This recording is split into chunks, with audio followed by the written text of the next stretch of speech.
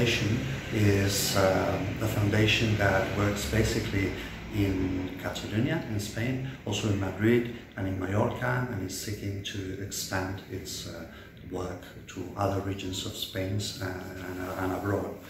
Uh, the um, foundation was created in 1957 after a Catalan character called Pere Tarrés. Mm, he didn't create the foundation, but he was a person specialized in uh, leisure education with youngsters in a very harsh moment of history of Spain. He was also a doctor, so he attended poor people that didn't have resources to go to hospitals. He even created a, a, charity hospital in order to be able to attend them. And then in the last years of his life, he became a, priest because he considered that he should have help not only people in their material dimension, but also in their spiritual and non-material dimension. So that's why later on in 1957, when the foundation was created, uh, it took the name of this character that was very popular in Barcelona that was called uh, Pere Tarrés. And that's the name of the foundation now, nowadays.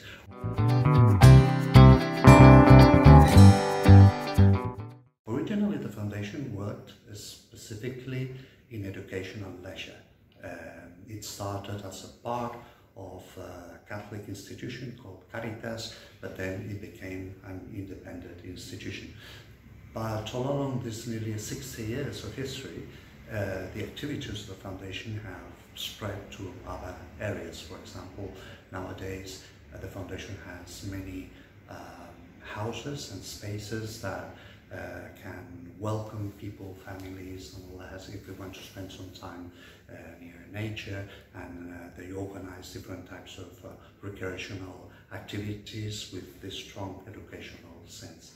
And then uh, there are also um, uh, a series of initiatives that take place together with elderly people or migrants. so the the foundation has become very broad in, in, in its activities. Uh, we also have a faculty of social education and social work that uh, uh works basically in uh, educating future social workers and social educators and uh, also specializes in many other areas like for example international cooperation. Then we have a study center that seeks to understand better how society works.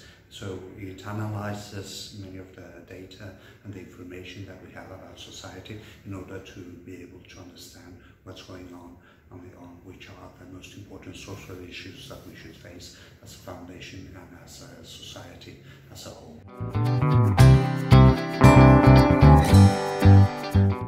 One of the activities that the Pere Tarrés Foundation uh, is let's say, proud of and has been working for a certain time is what uh, we call socio-educational centers. Uh, in English it would be something like open centers. They're basically um, after-school centers where children and families from um, the, the, poorest uh, regions of, of the mm-hmm. city uh, uh, attend in order to uh, follow uh, some uh, extra uh, resources regarding their education at many levels. For example, many of these children that in Catalonia represent more or less one third of Catalonia's childhood um, beneficiate from the open centers uh, because they receive uh, special attention regarding their studying skills overall and also their health skills because some of them don't have the opportunity to have that at home. They also receive uh, what we would call uh, the last meal of, of, the day because many of them don't have uh, the opportunity to, have another meal at home because of the social condition of their parents. So this is also an activity that takes place in these social educational centers. Social educational centers in Spain are uh, sustained basically by the government. Uh, but uh, there are a lot of social educational centers that the government has to, to uh, lease to uh, specific uh, foundations or entities like the Pere Foundation so that the foundation can organize the activities and take care of the center. So the Pere Foundation nowadays has 50 of these centers in, in Catalonia.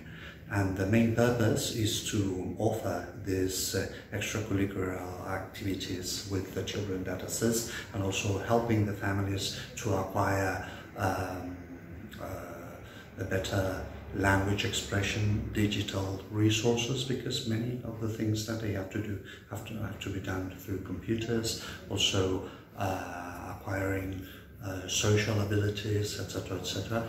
And since, since most of these families are, are also migrant, it's a way in order to help them understand how uh, social services work here in Spain. So that's why it's so important, not only for the children, but also for the families.